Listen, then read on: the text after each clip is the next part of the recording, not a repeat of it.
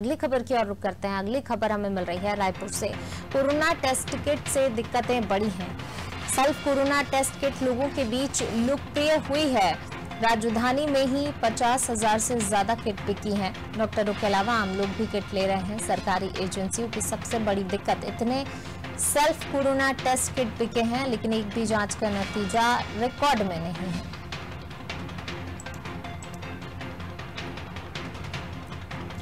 तो अब corona test kit से दिक्कतें ज़रूर बढ़ी हैं। सेल्फ कोरोना टेस्ट किट लोगों के बीच प्रिय है और लोकप्रिय है, क्योंकि लोग जो है घर पर ही टेस्ट कर रहे हैं। टेस्ट के लिए लोगों को बाहर नहीं जाना पड़ रहा तो काफ़ी ज़्यादा इन टेस्ट किट की खरीदी हो रही है।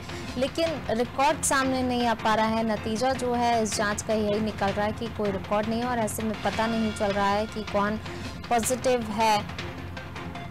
काफ़ी ज़्यादा दिक्कतें बढ़ रही हैं इस चीज़ से, क्योंकि कोरोना का कहर बहुत ज़्यादा बढ़ रहा है, लगातार कोरोना अपने पैर पसारता जा रहा है, लगातार लोग इसकी चपेट में आ रहे हैं। ज़्यादा जानकारी के लिए सीधे रुक कर लेते हैं संवाददाता भुजेंद्र का। भुजेंद्र हमारे साथ लाइव जुड़े हुए हैं। भुजेंद्र जो कोरोना टेस्ट किट है सेल्फ जो कोरोना किट है, लोकप्रिय है? क्योंकि लोग जो है बाहर नहीं भटकना चाहते, ज़ाहिर सी बात है, घर पर ही टेस्ट कर लेते हैं, लेकिन इस किट के साथ दिक्कतें भी काफ़ी ज़्यादा हो गई हैं।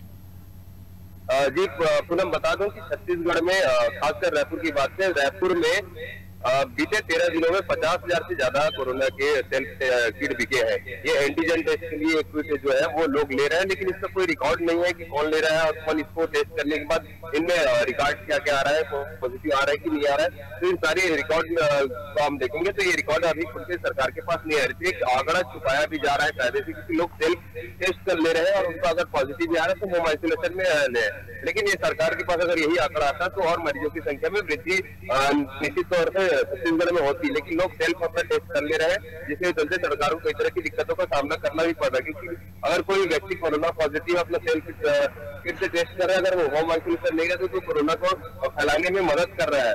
मतलब कोरोना फैलाने में एक उसके कारण रहेगा तो ये इसी तौर पर जो सेल्फ किट दिख रहा है, उसके लिए सरकार ने निर्देश भी कल। देर शाम तक जारी किया है कि आप कोई भी मेडिकल स्टोर या कहीं से भी आप सेल्फ किट खरीदते तो अपना आधार कार्ड और मोबाइल नंबर रजिस्टर्ड कराना है और रिपोर्ट क्या है वो मेडिकल स्टोर में जानकारी देनी है स्वास्थ्य विभाग को जानकारी देनी है जिसके चलते इस तरह के कड़े निर्देश छत्तीसगढ़ सरकार ने लागू किया है जी, बिल्कुल। भोजेंद्र, ये निर्देश तो लागू कर दिए गए हैं। इनका क्रियान्वयन किस तरीके से होगा, इसके लिए कोई सिस्टम प्रॉपर तरीके से बनाया गया है?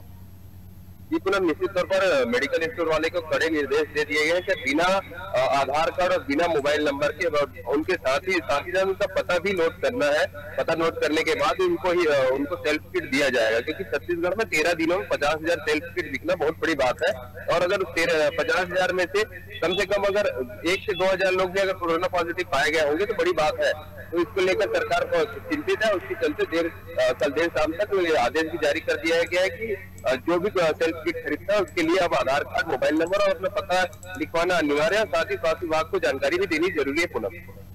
जी, भोजेंद्र, आप बने रही हमारे साथ। मैं लौटूँगी आपके पास तो बिल्कुल जो कोरोना सेल्फ किट है, वो सुविधाजनक है और जिसके चलते लोग खरीद भी रहे हैं, लेकिन काफ़ी ज़्यादा दिक्कतें हो गई हैं और अब इसके लिए निर्देशित भी किया गया है। मेडिकलों को निर्देशों का पालन करना होगा।